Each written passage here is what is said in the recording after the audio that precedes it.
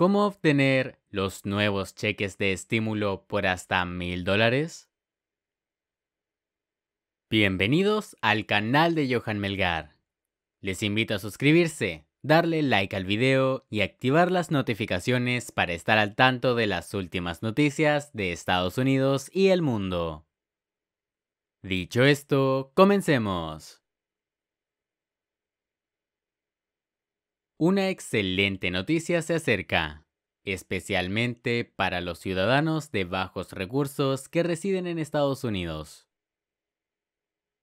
Durante el fin de semana, la Cámara de Representantes del país votó 50-18 a favor de un plan integral de política fiscal que otorgaría reembolsos de hasta mil dólares a los contribuyentes a finales de este año, incluyendo cheques de 500 dólares.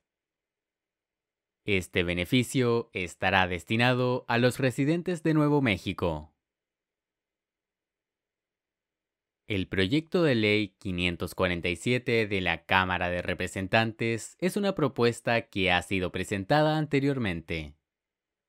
Pero ahora se está considerando un cambio en el monto de los cheques que se aprobarían. Anteriormente se habían propuesto cheques de 300 dólares para contribuyentes solteros y de hasta 600 dólares para parejas casadas que presentan una declaración conjunta. El representante Derek Lente, miembro del Partido Demócrata, presentó la HB 547 ante la Cámara el domingo pasado. En sus palabras, Hemos escuchado al público. Hemos escuchado a los miembros de este organismo y al Senado. Deberíamos devolver más dinero a la gente de Nuevo México. Durante el año pasado, se entregaron reembolsos de impuestos por 750 dólares a contribuyentes solteros y 1.500 dólares a parejas casadas que presentan una declaración conjunta en Nuevo México. Si el proyecto de ley se convierte en realidad con las cantidades propuestas, los reembolsos de impuestos seguirían siendo insuficientes.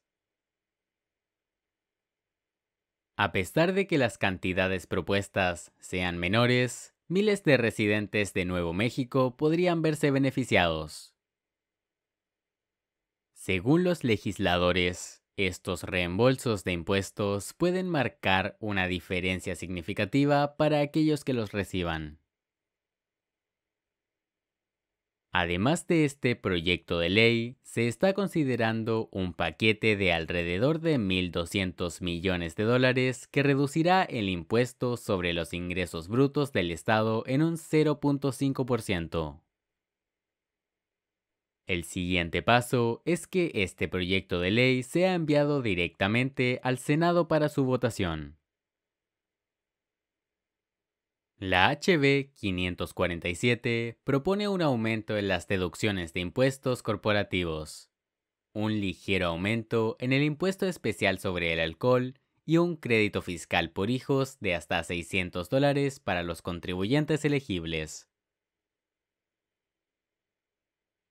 Ahora, terminando con esta noticia, vamos a pasar a hablar de que el índice de inflación en Estados Unidos aumentó un 0,4% en febrero. La inflación aumentó en febrero, pero se mantuvo en línea con las expectativas, lo que probablemente mantendrá a la Reserva Federal en camino para otro aumento de tasas de interés la próxima semana a pesar de la reciente turbulencia en la industria bancaria. El índice de precios al consumidor aumentó un 0,4% en el mes, lo que sitúa la tasa de inflación anual en el 6%, según informó el Departamento de Trabajo el martes. Ambas cifras estuvieron exactamente en línea con las estimaciones de Dow Jones. Excluyendo los precios volátiles de los alimentos y la energía, el índice de precios al consumidor básico aumentó un 0,5% en febrero y un 5,5% en base anual. La lectura estuvo ligeramente por encima de la estimación del 0,4%, pero el nivel anual estuvo en la línea con las expectativas. Las acciones aumentaron después de la publicación, con el Dow Jones subiendo más de 300 puntos en las operaciones de la mañana. Los rendimientos del Tesoro que cayeron abruptamente el lunes debido a los temores sobre la salud del sector bancario, se recuperaron sólidamente, empujando el bono del Tesoro a dos años, sensible a la política, un aumento de 30 puntos básicos a 4.33%. Antes de la publicación, los mercados esperaban ampliamente que la Reserva Federal aprobara otro aumento de 0.25 puntos porcentuales en su tasa de fondos federales de referencia. Esa probabilidad aumentó después del informe del índice de precios al consumidor, y ahora los operadores estiman que hay alrededor de un 85% de posibilidades de que la Fed aumente la tasa en un cuarto de punto, según una estimación. Incluso en medio de los actuales sustos bancarios, la Fed seguirá priorizando la estabilidad de los precios sobre el crecimiento y probablemente aumentará las tasas en un 0,25% en la próxima reunión. Una disminución en los costos de energía ayudó a mantener bajo el control de la lectura general del índice de precios al consumidor. El sector cayó un 0.6% durante el mes, lo que redujo el aumento interanual a 5.2%. Una disminución del 7.9% en los precios de la gasolina fue el mayor cambio en la energía. Los precios de los alimentos aumentaron un 0.4% y un 9.5% respectivamente. Los precios de la carne, las aves de corral, el pescado y los huevos disminuyeron un 0.1% durante el mes. La primera vez que este índice ha retrocedido desde diciembre de 2021. Los huevos en particular cayeron un 6.7%, aunque todavía estaban un 55.4% más altos que hace un año.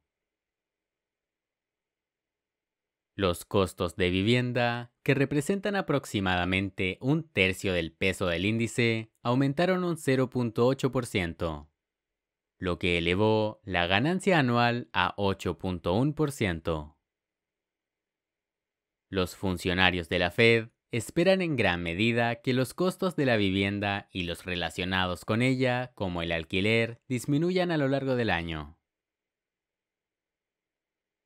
Los costos de la vivienda son un factor clave en las cifras de inflación, pero también son un indicador rezagado.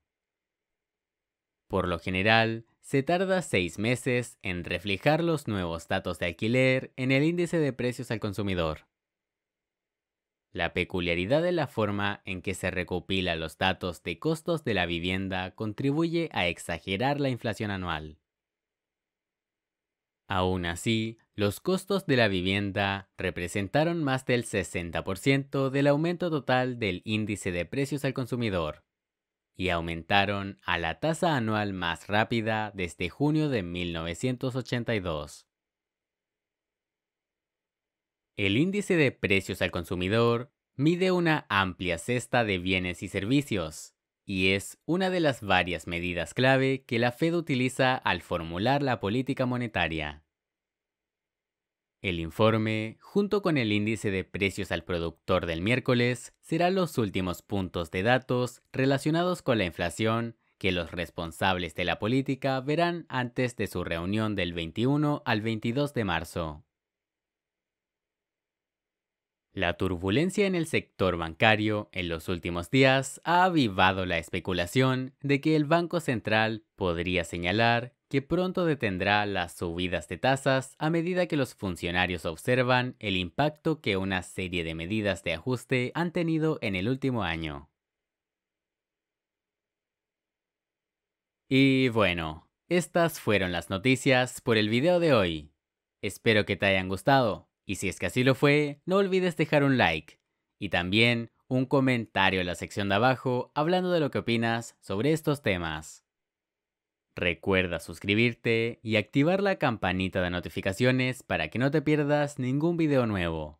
Y nos vemos mañana con un nuevo video, aquí en el canal de Johan Melgar.